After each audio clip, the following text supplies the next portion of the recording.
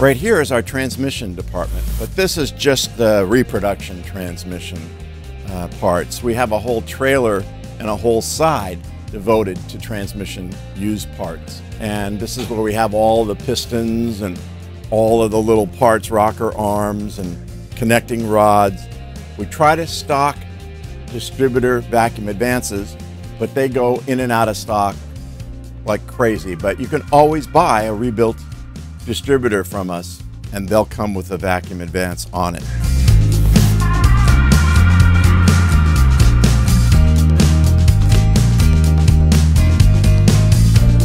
And these are the vacuum wiper motors and they go all the way up to 1958. So that was the last year for vacuum. 1959 was the first year for the electric wiper motor. This is the seal a deal or gasket department. So we have all the engine gaskets, timing cover gaskets, all the correct, up-to-date, modern gaskets that do a much better job than what used to be on the market.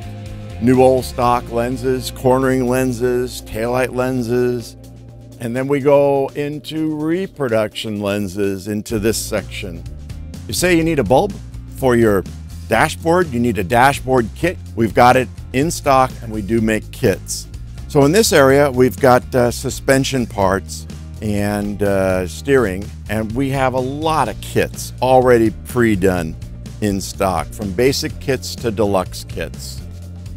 The exhaust manifolds that we do have, they are taken to a machine shop and cleaned and tested for cracks. So I'm going to take this uh, cap over to our other location where the cars are being restored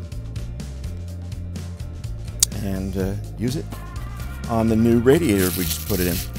In this particular shelving unit are all of the control units and we go with the first air conditioning combo units as well all the way up into the 80s and they're rebuilt units. Once in a while we get a new old stock unit.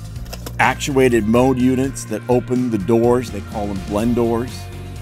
And we've got all the kits We've got rebuilt throttle suctioning valve, And these are clutch units that are used on AC. And we've got hoses that have the correct factory numbers on them. So you can get them either way. This is one of the many walls that we hang things up in different buildings that we have. And here are some of the door trims from two doors and four doors, all sorted by years. You know, the stuff that's really the pretty jewelry of your car, fender letters, script, wheel cover emblems. It goes on and on and on.